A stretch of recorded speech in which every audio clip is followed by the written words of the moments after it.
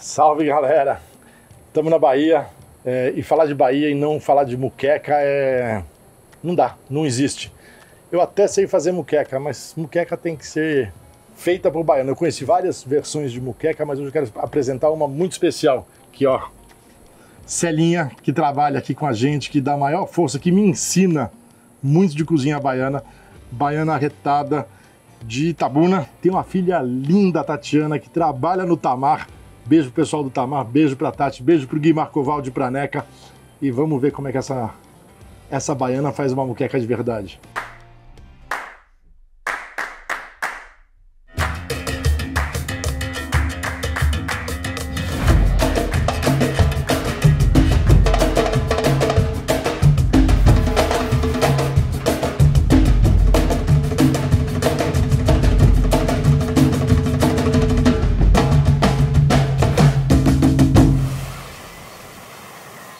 Conte, eu vou fazendo, você vai me ensinando. Vou contar a história rápida. Uma vez num São João, aqui na Bahia, ano passado, né? Ou ano retrasado? Foi ano passado. Ano passado. Cozinha super bem. E eu pedi para ela me ensinar a fazer um Vatapá. um vatapá. Tomei cada bronca. Só, só faltou falar que eu não sabia cozinhar, né? Vamos ver se eu passo no teste hoje. Como é que a gente começa, Linha? É, primeiro, é, machuca o alho. Machuco o alho. É. Então nós temos já os dentinhos de alho aqui. Aham.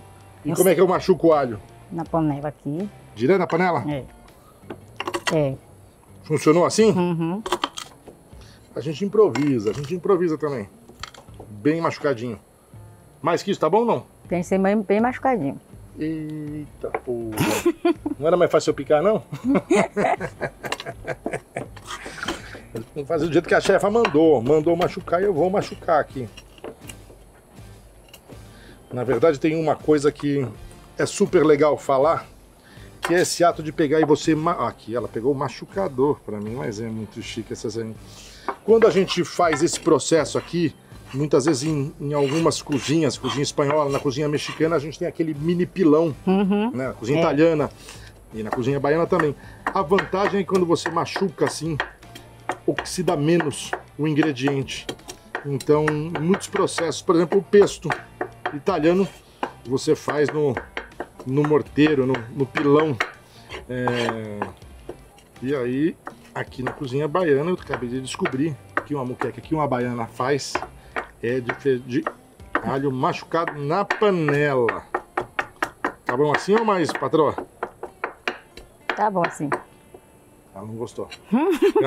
tá bom assim não é que tá bom. Já entendi que ela quer bem machucadinho, então bora fazer. Ela tá tímida, isso fala que é uma coisa, mas agora tá na frente da câmera lá. Celinha, me fala uma coisa. Quanto, você, você, quanto tempo você tá aqui em, em Busca Vida, em Lauro de Freitas? Busca a vida, eu vim pra aqui, a Maísa tinha seis anos. Eu vim A Maísa é pra... tua filha mais nova. A Maísa caçula. A caçula, ela tá com? Ah, tá com 11 anos. Tá com 11. Então faz 5 anos que você tá aqui por Busca É, Vida. vim a, a busca de Dona Otávia. Você já veio encontrar minha mãe. Foi. Me conta uma coisa. E quando é que você saiu de Itabuna? Eu saí recém-nascida. Meus, Recém-nascida? É, meus avós, meus Aí, avós. aí, aí você veio pra onde? para Alagoinhas, um lugar que chama Entre Rio. Entre Fui rios. criado com avô e avó.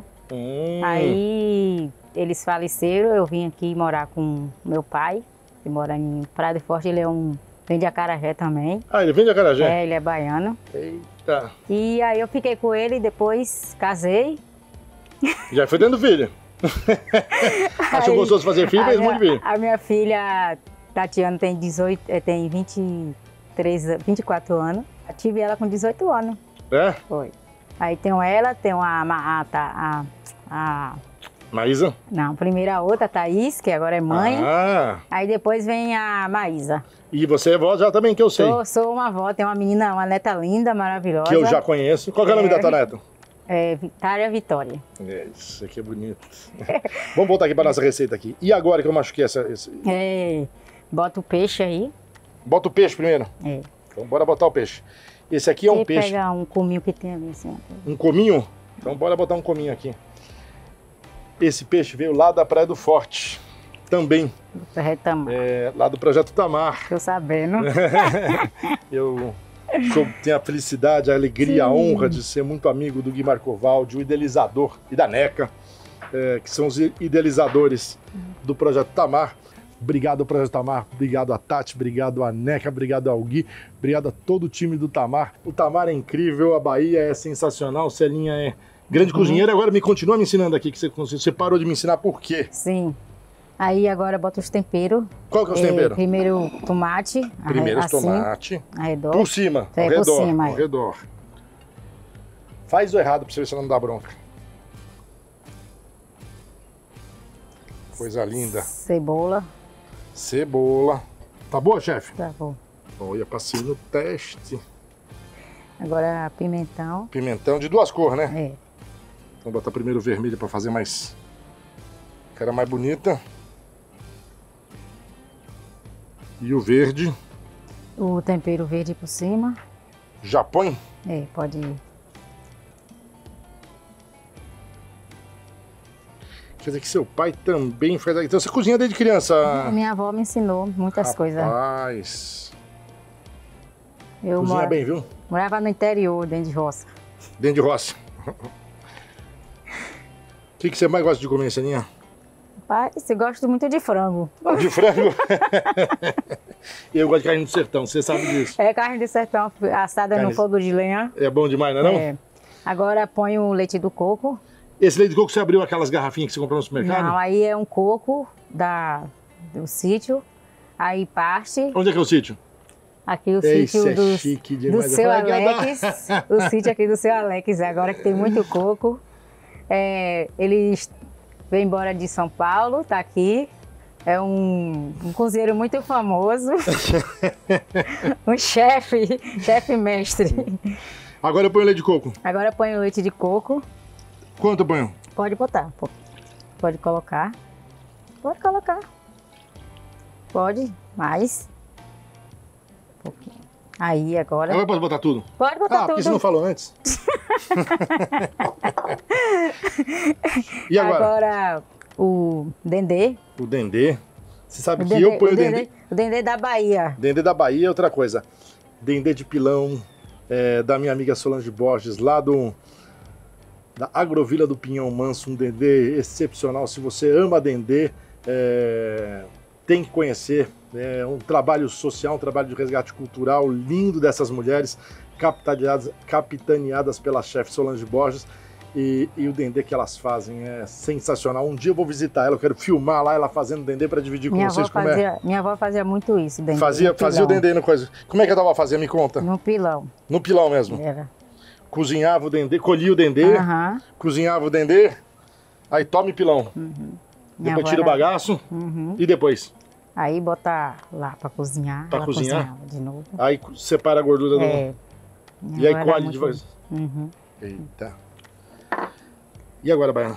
E agora vai pro fogo, Vai pro fogo? É. Então vamos pro fogo? Põe sal agora ou põe depois?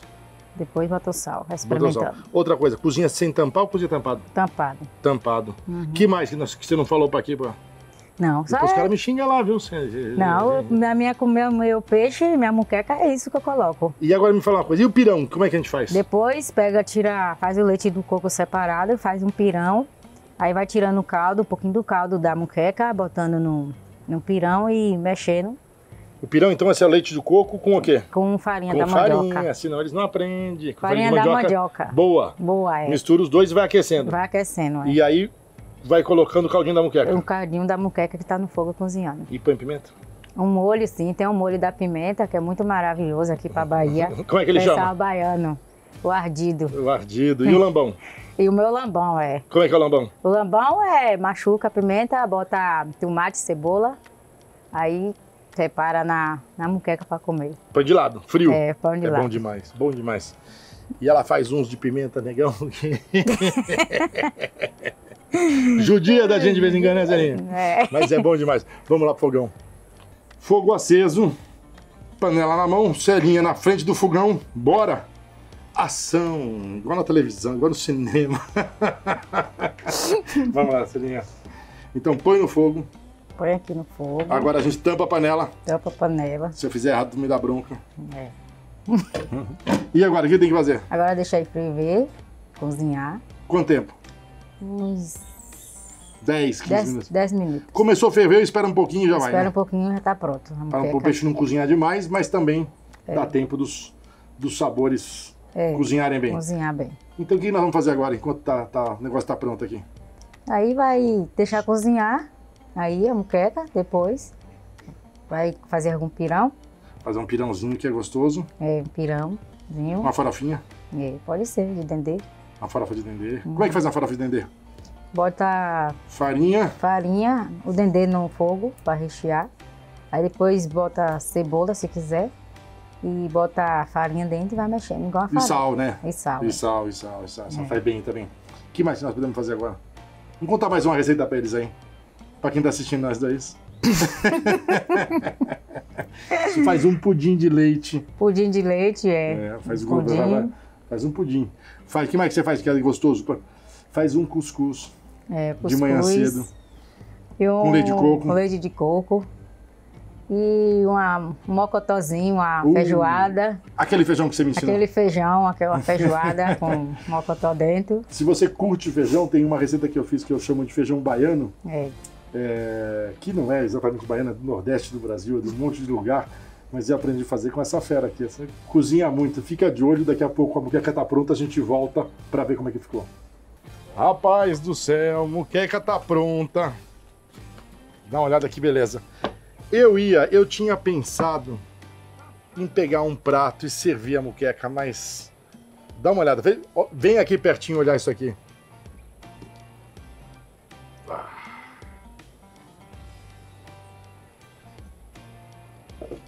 Celinha, do que mais que você faz muqueca? é muqueca de camarão, muqueca de polvo, Muqueca de tudo. tudo. E você faz muqueca de ovo? Mu- Muqueca, de ovo é bom demais, não é não? É, muqueca de ovo, uma delícia muqueca de ovo com mamão verde. Com mamão verde? Hum. Vou ter que chamar ela de novo. Só você foi bem boazinha. Ah, Dividiu umas Jesus. 35 vezes pra mim. Oh, Jesus!